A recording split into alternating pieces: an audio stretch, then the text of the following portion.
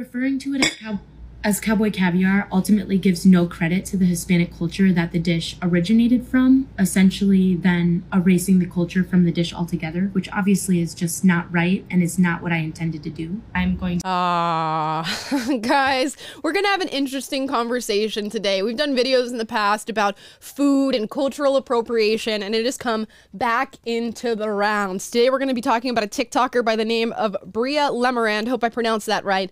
In cowboy caviar. Let's get into it.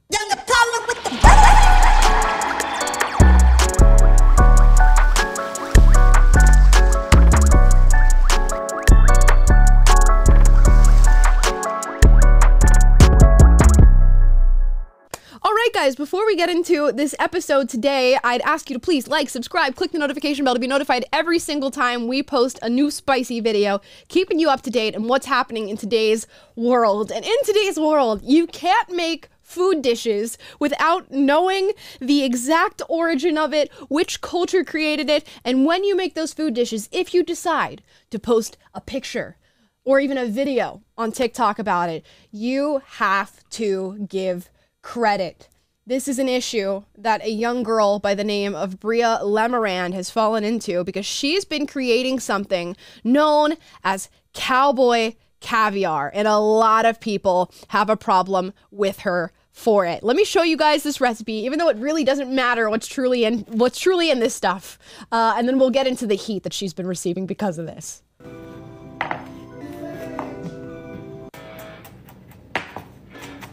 Look at that. Some peppers. Beautiful. Let's skip ahead here. Some onion.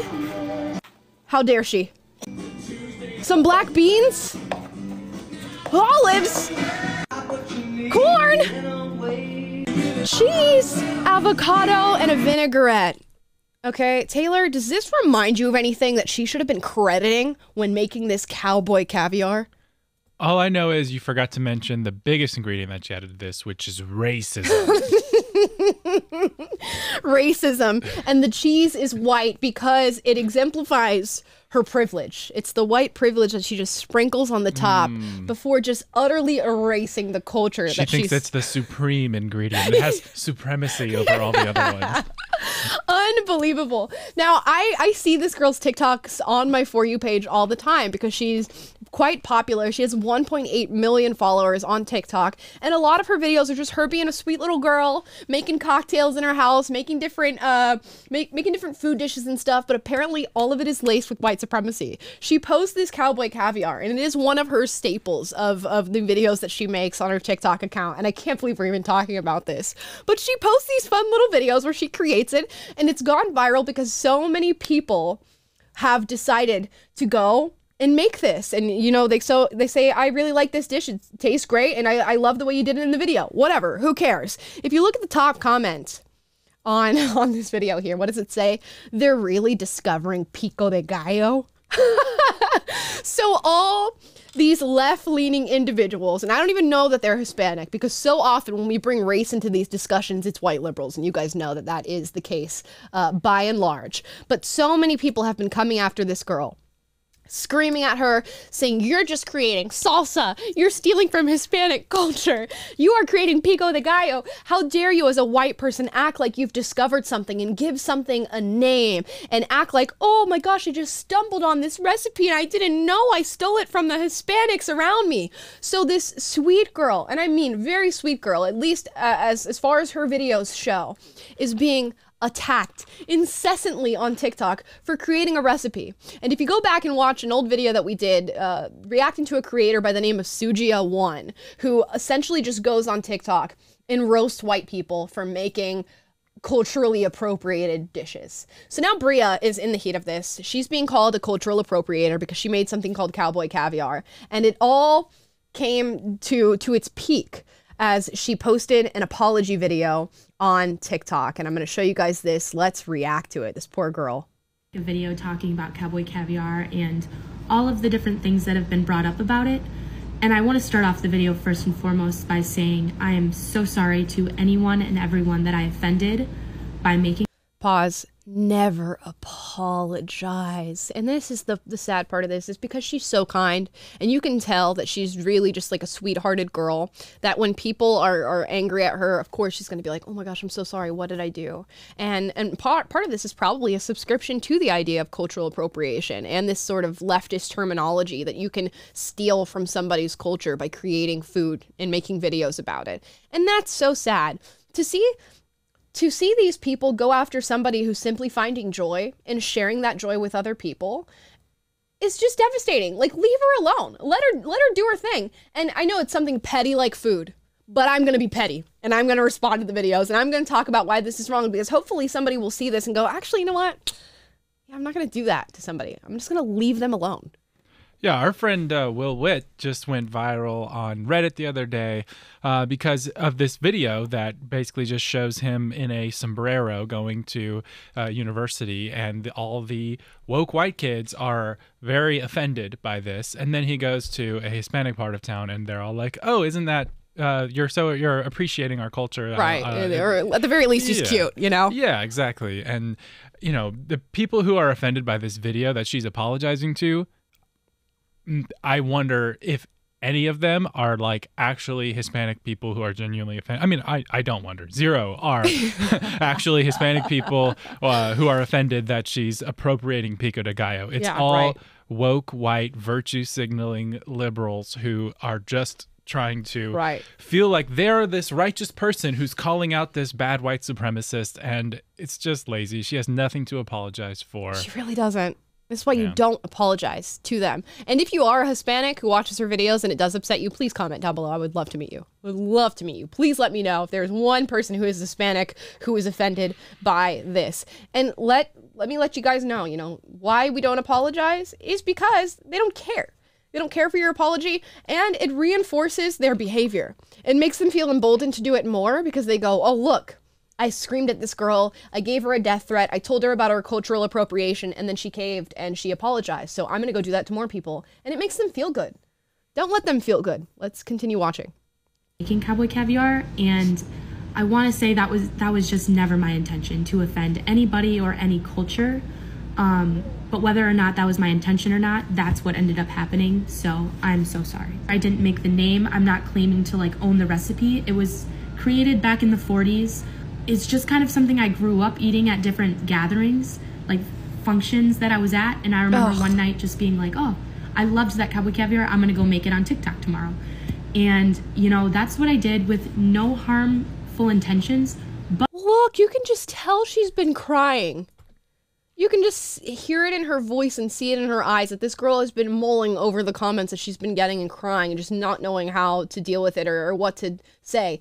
You don't have to tell me a story about how you found the recipe. You don't have to tell me a story about where it originated. You don't have to tell me a story about where you made the name. I don't care if you got all these ingredients and said, you know what, I'm going to rename this thing and put it on TikTok. I truly don't care. And really, nobody else should. It is ridiculous to put somebody through this for such a simple thing. And you can say, oh, is so petty. Why are you talking about a girl who makes food on TikTok and her getting bullied? Because it means something. You know, when we talk about say bigger instances of cultural appropriation. Let, let's let's scale it because this is just food. Let's scale it up to something like a particularly special sign of of privilege and power indian headdress that somebody appropriates and starts wearing and dancing around and doing stupid stupid stuff with it and saying you know look i'm, I'm a native american i'm a native american. Okay that's far harsher than something like this, and people would pounce on that in an instant. But to pounce on somebody who's just making food that they like, it shows you how deeply this is embedded in our society. The smallest things that you do now are going to be called out, you will be ridiculed, and you will be met with the full force that is wokeism for simply making a dish. And that's a problem because it means that we've lost our levity on the situation. It means that we can't take things and, and, and analyze what the intent of a person is. It means that we're not looking as to whether or not somebody is truly trying to offend us or if they've just stumbled onto something and that's what they're doing. Nobody cares anymore. It's like they're coming down with you with the, the full hammer of the of the woke law when you would do anything, the smallest little thing. Yeah, this whole phenomenon of just policing other people Mm-hmm. uh, with for political correctness is people are. I think just the average person is just so tired of it. Amala and I were talking to a, journal, a mainstream journalist the other day who said, you know, the place where I see conservatives winning is that people are just fed up with this uh, this policing that the far left is doing with Yep. everyone's uh, language, with what you're allowed to say, what food you're allowed to eat now. Like, am I gonna have to start seeing people issuing apology videos for like getting a burrito at Chipotle and they were Right. caught on camera? It's like, is that offensive now because Mm-hmm. Chipotle appropriates and mainstreams Hispanic food Right. or Mexican food or whatever? Like, where does it end? And that's the thing. There is no like limiting principle to this. And as you say, it comes down to your intent. Like, yeah, is it wrong to like c- make a caricature of someone's culture and then with the intent to mock, Right. you know, put on a show to mock them? Yeah, I mean, I guess that's It's not that's a great thing to do. Yeah. that's in poor taste, of course. Mm-hmm. Yeah, and uh, but I mean, you could say it still falls under free speech or whatever, Exactly. and that's also different, by the way, from like a stand-up comedian who's dishing it out to everybody Mm-hmm. and acknowledging the existence of certain stereotypes that are associated with genders or cultures or whatever it may be. Right. That, that that's just inherently funny because people know certain things are true about certain people or and groups of people, and those are there's nothing wrong with acknowledging those and playing off of those. Um, and but this is just like a it's it's not even just taking things too seriously it's literally just sucking the joy out of life so that you can virtue signal that's all it is. Yeah. And I can't imagine people watch this and feel good about themselves, but there has to be people who do. Like, yay, we got her to make this video. We got her to apologize. How insane. Let's keep watching. full intentions, but I do 100% see how cultural appropriation comes into play here.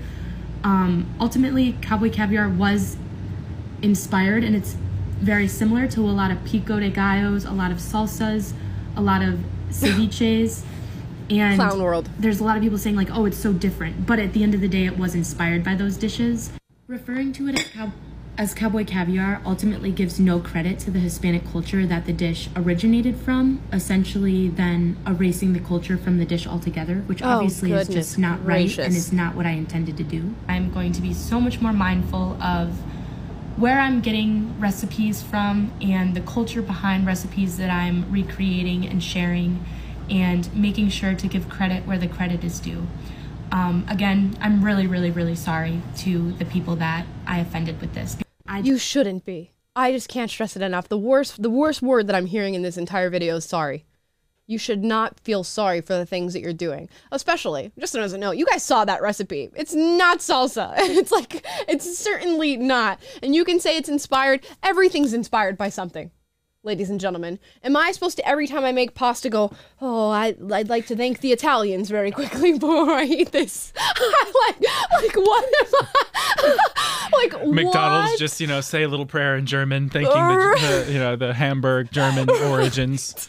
like no i'm not going to do it. I'm not to thank i'm not to thank india every time i eat tikka masala. I'm not to do it. I'm really not and you shouldn't be expected to do that because this is the world we live in. You go to the grocery store you buy your food you make whatever you want and you eat it and consume it. And if you want to make a video about it and put it on the internet you can do exactly that. And it's not like she went and got all these ingredients and was like Oh, today I'm going to make a salsa, but I'm not going to call it salsa. I'm going to call it cowboy caviar, and I'm going to make millions of followers off of this recipe.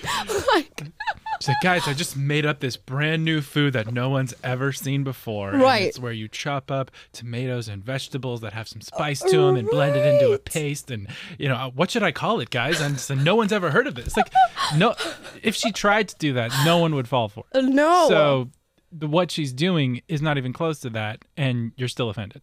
Gosh, it's so ridiculous. And I'm petty. I'm petty. So I went and Googled this because she was like, oh, it's from the 1940s. It legit is a whole, it's a whole ass thing. It's a whole separate thing. Texas caviar, also known as cowboy caviar, was created in the 1940s. It even credits the individual who made it, Mrs. Helen Corbitt. Helen Corbitt, you're creating a lot of problems right now in, in the 21st century, Helen. Okay, I'm gonna need you to take accountability for your actions. We're all gonna have to go to the grave of Helen Corbitt and, and put a sign up that says cultural appropriator as she's stolen a recipe from Hispanics. This is this is where we're at in this day and age. This is how petty you are and and petty other people are. And it's like I can't imagine, you know, this is why young people are so scared. They're so scared to be forward. They're so scared to talk about what they believe. They're so scared to do anything. God forbid you make the wrong recipe on TikTok and make a silly little video where you put music over it because a bunch of people might start sending you death threats and calling you a racist. This is the threshold for offending people now. Lower and lower and lower and lower. It doesn't matter what you do. And what what is sad is is the, it's the apology. It's the reinforcement because now, okay, the threshold was making uh, something that looks like salsa, okay? But she apologized. So guess what? Threshold's lower now. What's the next thing? Who even knows what the next thing is? But it's gonna just keep inching itself down. That's cowboy caviar, you guys. I don't have any other words for this. I think that sums up my thoughts. Yeah, I mean, I can't help but think that like it it's so funny because it is such a trivial thing that okay, a TikToker made a video, Mm-hmm. but the fact that people are getting offended and that this is becoming like a uh, it, it's a real issue in our culture just reflects how the standard way of looking at the world is shifting to this oppressor and oppressed framework that is Yep. really traces back to this a Marxist worldview. Um, and I know that's like going way deep on a video about cav- cowboy caviar, but Yeah. ultimately, it's like, are you on the side of the oppressors, the white supremacist, patriarchal uh, hegemony that is, has imposed itself on society historically, or do you want to be among uh, on the side of the oppressed? And if you want to be on the right side of history, then you better be a person who apologizes and obeys all the rules of political correctness. Because if you don't, then you're just as bad as uh, the native slaughtering Christopher Columbus, and uh, you're on the wrong side of history, and you're not one of us. You're not Right. accepted. You're not going to be mainstream. You're not going to have all the opportunities in culture, and you know, and, and you pass your DEI and have your good social credit score. I mean, that's all this stuff is is ultimately connected in that oppressor, oppressor, oppressor, oppressed framework. And uh, I think the only thing to do is say, I reject the way you're even framing this entire thing. Yep. I made a freaking recipe. I put it on TikTok. You enjoy it if you want. If you don't, f off. Like, right. and- you know how baller yourself. that would have been? You know how baller that would have been if she like got all these death threats or whatever and she set up her camera. She's like, "What's up, guys? Today we're making cowboy caviar. That's right, I said it, cowboy caviar. I did not appropriate the dish. I did not steal it from anybody. And here's how you make the recipe." That would, oh, baller. And people would have been like, "Hell yeah, girl." But guess what? This still got 442,000 likes. So we're like, we're not talking about it because it's something that's totally insignificant. You know, millions of people have watched this video of her apologizing and are commenting on it and talking about it. And it actually has become like a sort of pop culture commentary piece because of this girl, random girl on TikTok. And it's to be happening more and more and more as we delve into this ideology. Guys, I'm interested to hear your thoughts on this. Comment this down below. Is this cultural appropriation? Did she steal pico de gallo and, and salsa and ceviche and just put a little white name on it that she didn't make up? You guys let me know down in the comments below. And how would you have responded to people coming at your throat for making a recipe like this and posting it on TikTok? Let me know what your next video would have been in response to that because mine would have been remaking it all over again and calling them out.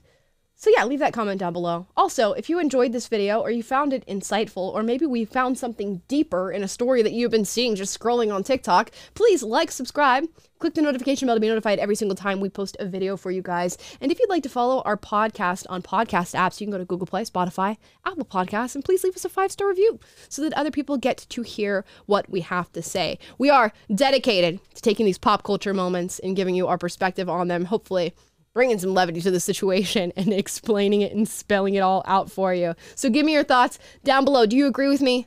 Disagree with me? Is there a point that I didn't make that you wish I did? Let me know down below, and we'll see you guys in the next video.